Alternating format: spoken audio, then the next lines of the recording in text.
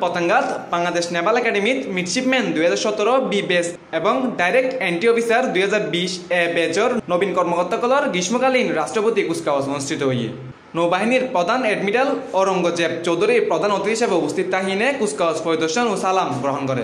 এই অনুষ্ঠানত নৌবাহিনী দুই হাজার সতেরো বি বেসর চল্লিশ জন মিডশিপম্যান এবং দুই হাজার বিশ বেচর উনত্রিশ জন ডাইরেক্ট এন্ট্রি অফিসার সহ সর্বমোট তিয়াত্তর জন নবীন কর্মকর্তা কমিশন লাভ করে। এটার মধ্যে তিনজন মহিলা কর্মকর্তাও আছে।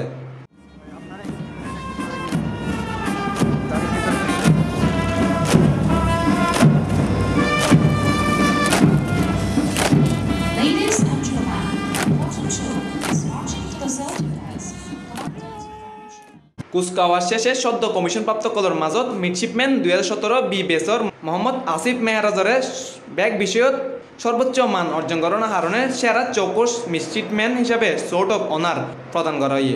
এছাড়াও মিডশিপম্যান আবুল শাহাদাত মোহাম্মদ সাইমেরে প্রশিক্ষণ দ্বিতীয় সর্বোচ্চ মান অর্জনকারী হিসাবে নৌপ্রদান স্বর্ণপদক প্রদান করা হয়। এছাড়াও ডাইরেক্ট এন্টি অফিসার দুই হাজার বিশ এ বেসতুন এন্টিক সাব লেফটেন্যান্ট আব্দুল সামাদ আশিক শ্রেষ্ঠ ফলাফল অর্জনকারী হিসাবে বিশ্রেষ্ঠ শহীদ রুহুল আমিন স্বর্ণপদক প্রদান করা হয়।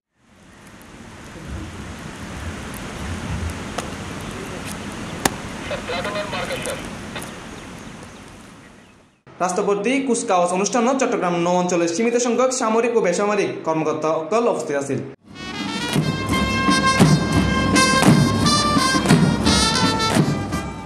Haidur Rahman Sakib, C plus TV, Chattogram.